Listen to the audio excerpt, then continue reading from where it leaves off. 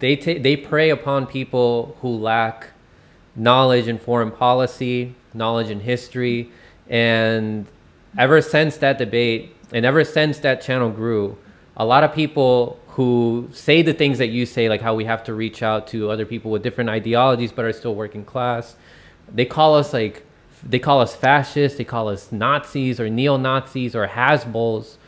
What are some things that Vaush was saying that is just not true about our foreign policy or assumptions he was making about our foreign policy or our history that you find very concerning? Well, a, a, lot of these people use words they don't know what they mean. Okay, when people say the word Nazbol, what is a Nazbol, right? People, some people, I think they think that that means. Most people, you ask them what a Nazbol is, and they think, well, there are these people on the internet who are communists, but they're kind of like Nazis. So they're Nazi Bolsheviks. They're Nazbols. That's not what that word means. Okay, that is not what that word means. There was a political party in Russia in the 1990s, and it was dissolved in 2007, and it was called the National Bolshevik Party. And it was a party that mixed Russian nationalism with Marxism. And it was a breakaway from the Russian Communist Party, and it dissolved. It no longer exists. Um, I've never been a member of that party. You know, uh, mm-hmm. uh, I don't know anyone who has. Um, the main thinker for that party, from what I understand, was a was a writer, uh, Edward Limonov, who just died. Um, and he wrote novels that had like LGBT characters in it and stuff. Like he was kind of seen as kind of edgy and liberal. Um, and in Russia, the Nazbols were considered to be a left wing party to some degree or other. So, you know, I mean, I don't know. I've never never met them, never associated with them. They were dissolved when I was 19 years old. But people on the internet who are sympathetic to opposing imperialism are not Nazbols. Uh, that's just silly, right? Another word you hear, is Strasserist. What is a Strasserist? Right? Sounds like well, a dinosaur. yeah.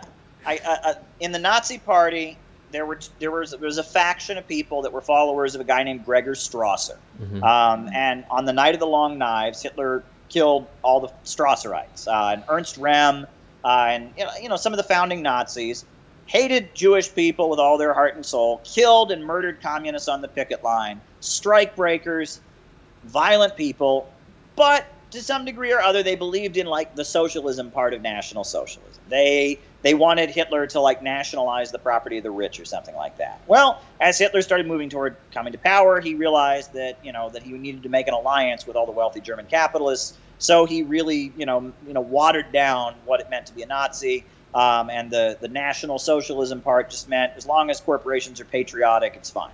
Um, so you know, and then after Hitler had been in power for a year, some of the people in his party were still talking you know, the way that Gregor Strasser and Ernst Röhm and some others talked, and so he killed them all. Um, I have nothing to do with those people. I don't hate Jews. I don't hate anyone on their na- on the basis of their race or religion. I'm not encouraging people to go out and commit acts of violence in the streets against communists and leftists. So, you know, I got nothing to do with Strasser. Uh, that's just that's just a non sequitur. Um, you know, tankie. Well, what is a tankie? Mm. Tankie just means you support existing socialist countries, right? Uh, that that word goes back to the British Communist Party. Uh, in the 70s, you had the rise of something called Euro communism. 1978, uh, the French Communist Party, the Italian Communist Party, the Spanish Communist Party all signed a document denouncing the Soviet Union. So in Britain, there is a debate. Should we go with the Euro communists or not? Well, the, the, the people who supported the Euro communists, they were called the Euro faction. And the people who supported the Soviet Union were called the Tankies. And why is that? Because Soviet military interventions were portrayed on television with tanks, right? It was like a propaganda thing, right? Um, there's a great book called Afghanistan Washington's Secret War. Um, and it talks, it's, it's written by a reporter who was stationed in Kabul, in Afghanistan, at the time the Soviet Union sent its military to support, you know, the government of Afghanistan. And he talked about how, you know, all kinds of Soviet people were sent there, um, but the, there was one tank in the whole city of Kabul in a park and that's where all the news media surrounded and pointed their cameras at. All the Western media pointed at this one tank because that is how Soviet military interventions were portrayed on American TV. Is this big tanks, right? When the Soviet Union sent soldiers to Czechoslovakia, big tanks. When the Soviet Union sent soldiers to Hungary, big tanks. Soviet Union sent soldiers to Afghanistan, big tanks, right? Uh, Tiananmen, 1989, in China, tanks. And the way that was a very calculated propaganda move by Western imperialism because uh, you know, they didn't show like the millions of people in Afghanistan who didn't want to live under the Taliban and wanted women to have the right to vote and wanted women not to get acid poured on their faces and liked the idea of the Soviet Union sending aid to like develop their agriculture. They didn't show you the, uh, the millions of people in Czechoslovakia who wanted to keep their guaranteed job and health care and education and didn't want the free market to come ruin the country. They didn't show you the people in Hungary who, who didn't want, you know, neoliberalism and free market reforms. Instead, they made it look like the only the only force, the, the, the force of opposition to the CIA-sponsored protesters is just this cold mechanical piece of machinery. It's Darth Vader, you know, rolling over the individual. It was a brilliant propaganda tactic. Because at the end of the day, those tanks from the Soviet Union represented millions of people in every country of the former Eastern Bloc. Every single one. Romania, Czechoslovakia, Poland, every single one of those countries, they do poll after poll after poll. People say that life was better before the Soviet Union fell, before the overthrow of communism. So those tanks were not just cold pieces of machinery, they represented millions of people who didn't want communism overthrown. They may have wanted communism to change. They may have wanted communism to be more more democratic. They may have wanted some more of a market sector. They did not want free market capitalism. And what happened in Eastern Europe in the 1990s when they restored capitalism was a humanitarian crisis. Drug trafficking, sex trafficking. I mean, Russia in the 90s lost 10% of its population. One in 10 people either left the country or died. Uh, they had a food crisis in the country. Um, I mean, it, it was a nightmare. You know, I mean, all the farms shut down pretty much. The factories closed their doors. Thirty percent unemployment. Around all the subways, you had elderly folks, you know, begging. You know, older folks who'd lost their pensions and were like trying to sell you yesterday's newspaper or their old sock. You know, just give me a little bit of money for this old sock so I can I can I can go buy some food. I mean, Russia in the 1990s, when they adopted libertarian free market economic policies, was a nightmare. Um, and the restoration of capitalism all across Eastern Europe has been a nightmare. And most of Eastern Europe hasn't recovered from it. Russia, you know, Putin has come in, he's nationalized the oil and gas, and he's been able to kind of reboot the economy. Uh, but, you know, Lithuania, uh, you know, Czechoslovakia, uh, a lot of those places have really suffered. I mean, they have not, you know, recovered. It was the Soviet Union that wiped out illiteracy in those countries, that built hospitals in those countries, that paved the roads in those countries.